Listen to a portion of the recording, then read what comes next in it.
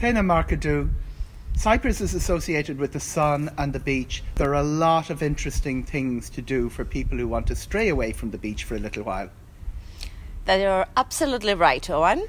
There's so many other things to do. There's the nature trails where you can admire lovely views wherever you go, any nature trail you decide to go. There's a lot of ancient culture for those interested in ancient culture, archaeological sites there's uh, religious monuments. There's a lot of other activities that have a lot of interaction with the locals, like uh, basket making and cooking demonstration, uh, and many other uh, local arts and crafts. So that gives uh, people a chance to get to know the real people of Cyprus. Wine is one of the most important export products of Cyprus, uh, and in the last 20 years, I can say there has been a huge improvement in our wines because young people studied the subject and they came back and have taken up either the wineries of their uh, grandparents or parents, or a lot of them made their own. Uh, and we have uh, an excellent quality of wines. This is the result of uh, the uh, new wineries that we have in the last 20 years. One of the treasures of Cyprus is the small villages, and one of the real treasures is the agritourism product that is growing in some of those villages.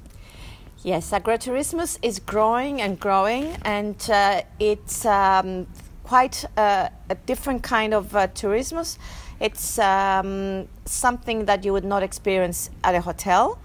You come into this house, which is traditional. You have all the traditional style, but at the same time, all your comforts. So it will be a lovely shower and everything, but then again, this big traditional bed that our grandmas had, uh, and it will be the yard with whatever they had in the yard, and of course, the landlord, the uh, wife, uh, the husband is there to welcome. And in our case, we were at Vavla, uh, at Donna Marie's house uh, Donna Marie with George, and they took a great care of us. And it's not just accommodation; it's uh, you can ask for breakfast, you can ask for various meals. So there's there's your chance to get to know some real local food, and this is what we experienced on the day we went there.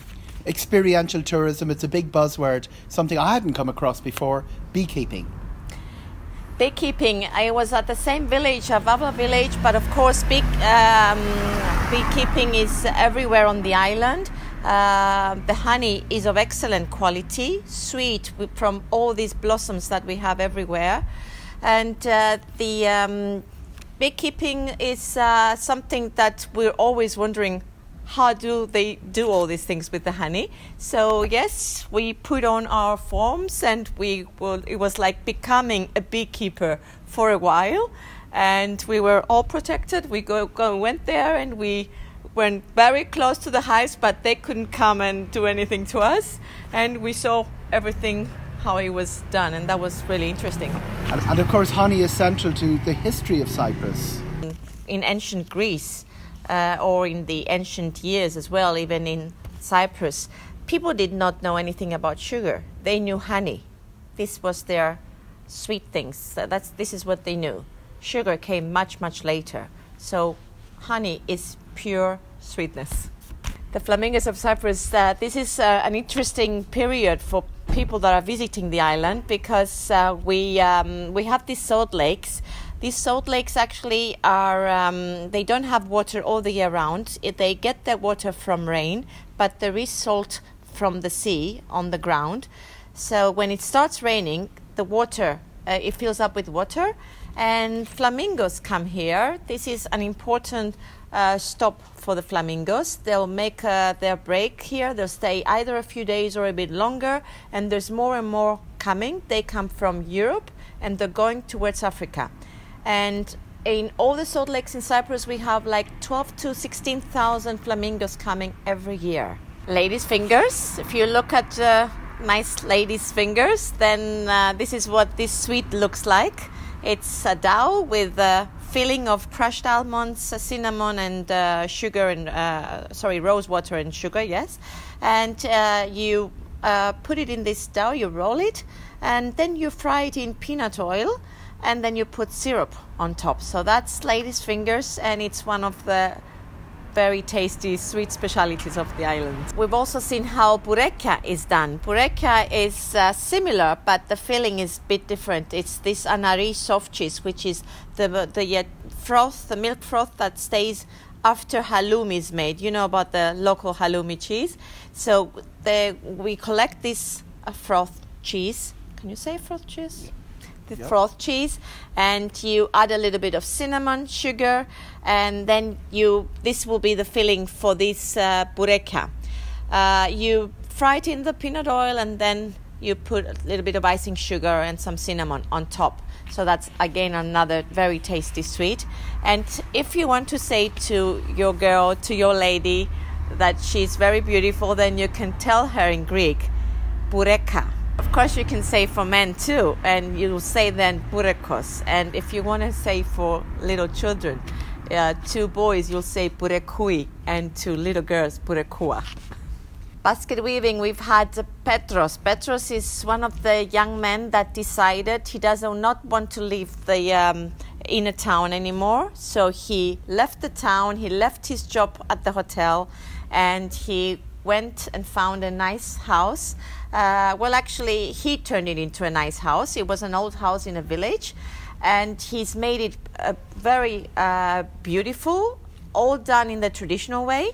He does baskets, uh, and he does demonstrations to people, but he also knows how to make halloumi. So he also does, does that. And he uh, guests will go to his house at the village to see him. Uh, he has then coffee for them, lemonade, uh, and uh, he, he, could offer a light brunch as well tomatoes, cucumbers, halloumi cheese, anari cheese with honey, carob syrup. Uh, so that is one of the best activities that tourists can do also. Lace is very famous, and Leonardo da Vinci was impressed. Lefkara is a village, and it gets its name from the um, mountains around it, Lefka Ori, which means white mountains, because of the beautiful limestone that there is there. And that's also one of the things you admire at the uh, village, this beautiful stone built houses with that local stone. Uh, but the village is also known for the lace. And uh, Leonardo da Vinci had visited this village and he was so impressed by this lace that he actually ordered one for the uh, cathedral in Milan. And um, the uh, ladies at that time wanted to thank him, so they've named one of the motifs uh, of the lace after his name, Leonardo da Vinci, and that looks like a half rhombus. And Lefkara also has a reputation for silver. People that are into the uh, into making silver jewelry, uh, handmade silver jewelry. There's um, especially a lot of jewels with the filigrane method, uh, and you will see some beautiful designs, some inspired from the ancient culture of the island, and some uh, with modern designs. Uh, people have adjusted to the new style as well, but there's also a blend of the old and the new. St. Lazarus. According to the religious tradition, St. Lazarus um, has lived his second life in Larnaca. He was assigned by Apostle Paul as the bishop of Kition. Kition was the ancient city kingdom of Larnaca, and uh, he died there. So his relics were there, and then the Byzantine emperor had given money for the church to be built, and as an exchange, he would get the relics of the, of Saint Lazarus. But the locals kept a part of the relics there, so there's still a part of the relics of the Saint, of Saint Lazarus, and Christians uh, Orthodox Christians are consider these relics very, very important. So they feel that they are uh, blessed when they're in the St. Lazarus Church. And a beautiful crypt where the uh, tomb of uh, Lazarus was. Uh, so that's also there to see. and the church is uh, goes back in the 10th century, and it's one of the churches that has the type of the churches with the many domes. So it's three in the middle, two on the side. Uh, it's uh, stone built. Inside there's no wall paintings, but you can say that it's uh, it's a simple but at the same time one of the most beautiful churches of the island. In the, in the pillars, in the four pillars in the church, you can even see ancient capitals which have been taken from ancient temples and they are built in the pillars. The resort of Ayia Napa is very, very famous. Uh, the beaches here are among the best in Europe. The golden sandy beaches of Ayia Napa and Protaras, that's, this is the Famagusta district, are definitely amongst the best beaches of uh, Europe. We, every year there's these blue flags that we receive, and it seems that uh, Cyprus has uh, quite a big number. And we are proud that these beaches have excellent quality of water, blue crystal clear water, turquoise beaches, and of course this is this comes from the beautiful golden sand of the area. The sculpture park it's uh, something that is uh, has started a few years ago and it invites artists from many countries to come and do their sculpture. And they'll stay here for a period until their sculpture is finished. And uh, then their sculpture will be there at the sculpture park. Uh, it's um, at a location where there's a beautiful view to the sea. So for us this is important because that means that this will be a monument of nature and it will always be there. And there's a symposium each year. So this year is from the 21st of March until the 21st of April, one month long. We have this symposium, so there will be some more sculptures for people to see.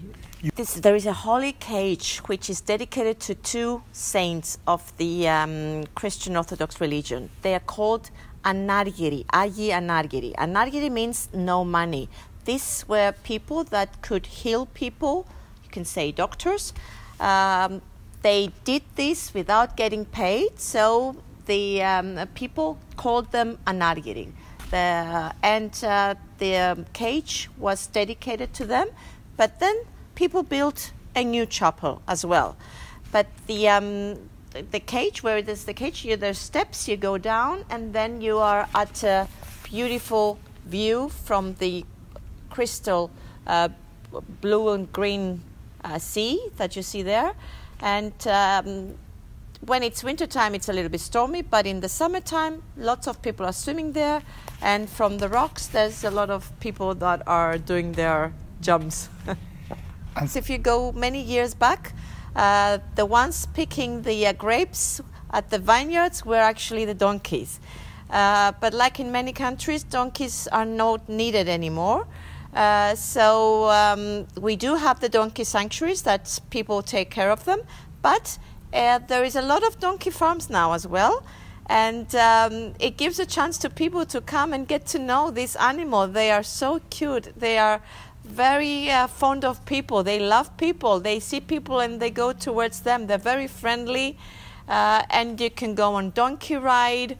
Uh, and there's um, in other farms as well, you can taste the donkey milk, which is one of the best medicines for many, many things. Cyprus is uh, famous for many, many other things, amongst that strawberries.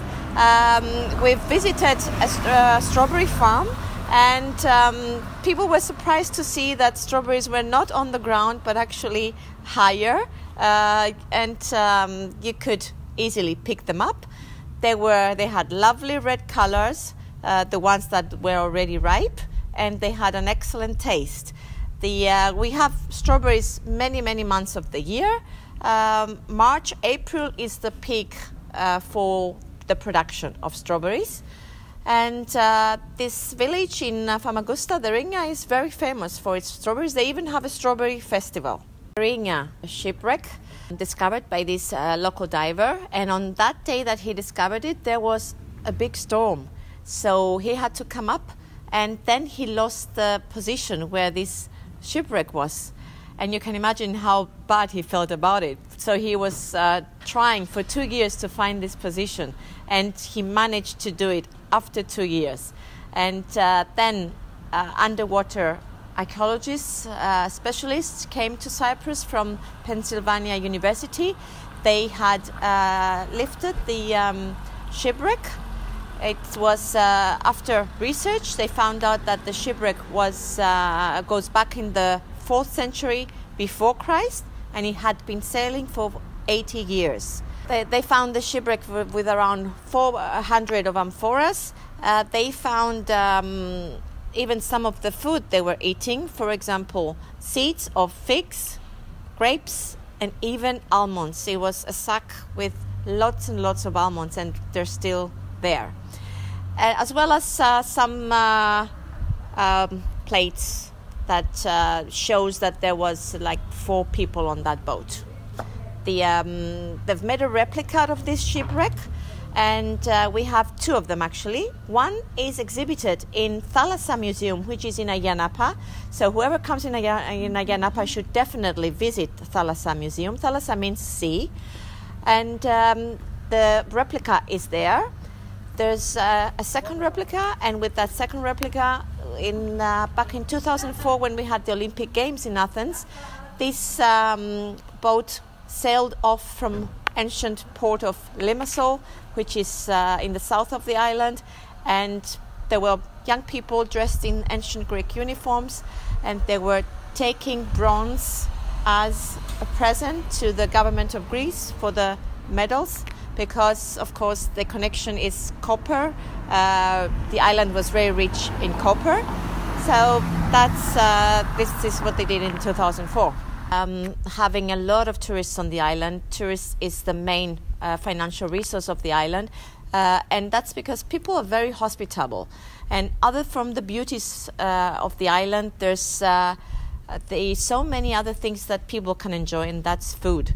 There's so many fresh vegetables everywhere with excellent taste. This is what all the guests are saying the tomatoes are so tasty, the cucumbers, the lettuce, the all the greens for the salad the um, food, the meat, the potatoes, the uh, all this grows in Cyprus. You can say that anything grows on the island, except pineapple. Maybe that's the far exotic fruit that doesn't grow here. But we have other tropical fruit that grows here uh, in Paphos, west of Cyprus, like the bananas, avocados, mangoes, papayas, uh, and it seems that the fruit is excellent and very, very, very sweet. Uh, so anything grows here. This is like a paradise on earth. So the, the guests get to taste this food, and I must say that the portions are really generous. Um, if you've heard of the meze, I'm telling about the you you have tasted it yourself. Meze is this selection of the local dishes. It's either with meat and vegetables or it's with fish. There's always so so much food there, and we're really generous with our portions. And we like people to feel that they've had lovely and lots of food here in Cyprus. Thank you very much, Thena. It's been an amazing trip. Thank you very much for coming here, and we are waiting from everybody from Ireland to come and visit us.